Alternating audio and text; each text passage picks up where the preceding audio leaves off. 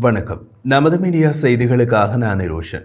ஆர்மேனிய விமானப்படைக்காக இரண்டாயிரத்தி பத்தொன்பதில் ரஷ்யாவிலிருந்து வாங்கப்பட்ட நான்கு எஸ்யூ தேர்ட்டி விமானங்கள் அசர்பைஜானுடனான இரண்டாயிரத்தி இருபதாம் ஆண்டு நாகோர்னோ கராபாக் போரில் பங்கேற்கவில்லை. ஏனெனில் அந்த விமானங்கள் வாங்கப்பட்ட போது வானில் இருந்து வானுக்கு ஏவப்படும் வழிகாட்டப்பட்ட ஏவுகணைகள் உட்பட விமானத்திற்கான எந்த ஆயுதமும் வாங்கப்படவில்லை. ஆர்மேனியா அந்த ஆயுதங்களை ரஷ்யாவிடமிருந்து வாங்க தயாரான போது அதற்குள் உக்ரைனுக்குள் போரை தொடங்கிவிட்டது ரஷ்யா. ஆர்மேனியா தனது இராணுவ திறன்களை வலுப்படுத்தும் முயற்சியில் இந்தியாவை அணுகியுள்ளது. வானிலிருந்து வானுக்கு ஏவப்படும் இந்திய தயாரிப்பு ஆஸ்ட்ரா ஏவுகணையின் சாத்தியமான கொள்முதல் மற்றும் அதன் எஸ்யூ தேர்ட்டி போர் விமானங்களுக்கான மேம்படுத்தல் ஆகியவற்றை மையமாக கொண்ட பேச்சுவார்த்தைகள் இந்தியாவுடன் நடத்தியது ஆர்மேனியா பேச்சுவார்த்தைகள் வெற்றியடைந்ததை அடுத்து ஆர்மேனிய அரசாங்கம் இந்தியாவில் தயாரிக்கப்பட்ட ஏவுகணைகளை வாங்குவது குறித்து ஆராய்வதாக கூறப்படுகிறது. இதில் இந்திய தயாரிப்பு விமான ஏவுகணைகளில் மிகவும் பாராட்டப்பட்ட பிவிஆர் எனப்படும் பார்வைக்கு அப்பால் வீச்சுள்ள உள்நாட்டு தயாரிப்பு ஆஸ்ட்ரா ஏவுகணைகளும் அடங்கும். பிராந்திய பாதுகாப்பு கவலைகளுக்கு மத்தியில் ஆர்மேனியா தனது வான் பாதுகாப்பு அமைப்புகளை வலுப்படுத்த ஆர்வமாக உள்ளது. மேலும் நீண்ட தூரத்தில் எதிரி விமானங்களை தாக்குவதற்காக வடிவமைக்கப்பட்டு ஆஸ்ட்ரா ஏவுகணை அதன் நவீனமயமாக்கல் முயற்சிகளின் முக்கிய அங்கமாக வெளிப்பட்டுள்ளது. இந்தியாவின் பாதுகாப்பு ஆராய்ச்சி மற்றும் மேம்பாட்டு அமைப்பு டிஆர்டிஓ உருவாக்கிய அஸ்ட்ரா ஏவுகணை. அதன் துல்லியம் நீண்ட தூர திறன்கள் மற்றும் சுகோய் எஸ்யூ தேர்ட்டி எம்கேஐ மற்றும் தேஜஸ் போர் விமானங்கள் போன்ற இந்திய விமானப்படை தளங்களில் ஒருங்கிணைக்கப்பட்டதன் மூலம் கவனத்தை ஈர்த்தது.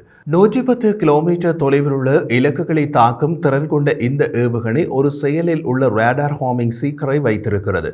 இது போர் சூழ்நிலைகளில் அதிக உயிரிழப்பு நிகழ்தளவை உறுதி செய்கிறது. ஆர்மீனியாவை பொறுத்தவரை அஸ்ட்ரா பிவிஆர் ஏவுகணை அதன் வானில் இருந்து வானுக்கு ஏவப்படும் போர் தயார் நிலையை மேம்படுத்துவதற்கான வாய்ப்பை வழங்குகிறது. இந்த ரக ஏவுகணை குறிப்பாக ஆமீனியாவின் சிக்கலான பிராந்திய இயக்கவியல் மற்றும் பாதுகாப்பு அச்சுறுத்தல்களை எதிர்கொள்கிறது. ஏவுகணை கொள்முதல் குறித்து இந்தியாவுடனான கலந்துரையாடல்கள் ஆமீனிய இராணுவத்தை நவீனமயமாக்குவதற்கும் அதன் தற்காப்பு திறன்களை மேம்படுத்துவதற்கும் ஒரு பெரிய அளவிலான முயற்சியின் ஒரு பகுதியாக பார்க்கப்படுகிறது.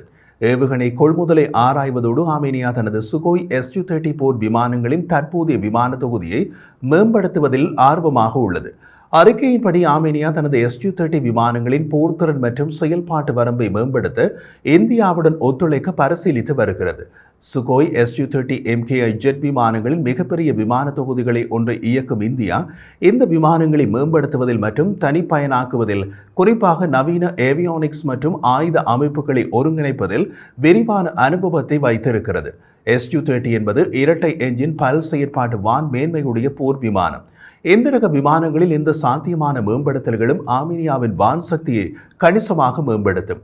நவீனமயமாக்கலில் ரேடார் அமைப்புகளின் மேம்பாடுகள் மேம்படுத்தப்பட்ட மின்னணு போர் திறன்கள் மற்றும் புதிய வான் தரை மற்றும் வான் விமான ஆயுதங்களின் ஒருங்கிணைப்பு ஆகியவை அடங்கும்.